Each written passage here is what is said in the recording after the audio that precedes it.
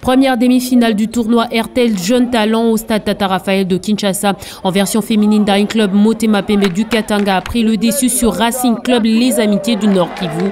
Mami Mouela a signé un triplé pour les clubs katangais. But marqué à la 9e, 54e et 62e minute de jeu.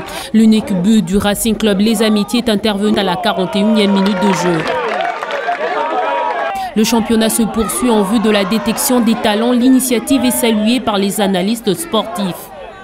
L'initiative est très bonne, est très bonne parce qu'elle permet d'aller chercher des talents. On parle du Congo comme un, scandale géologique. Je pense que c'est un scandale aussi par rapport au talent dans le football et dans différentes disciplines de, sport. Et euh, je crois que c'est très bien, on donne l'opportunité à, à, ces jeunes euh, de pouvoir montrer ce qu'ils savent faire une bonne initiative qui connaît la collaboration de la Ligue nationale de football des jeunes, mais il devrait connaître un suivi.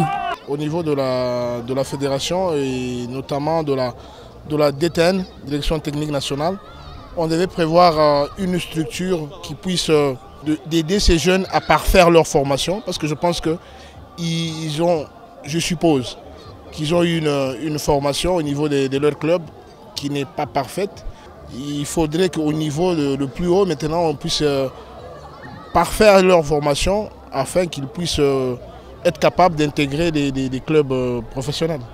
Signalant que le tournoi des jeunes talents se joue dans les deux versions et s'étendra au 4 août prochain sur le plan national.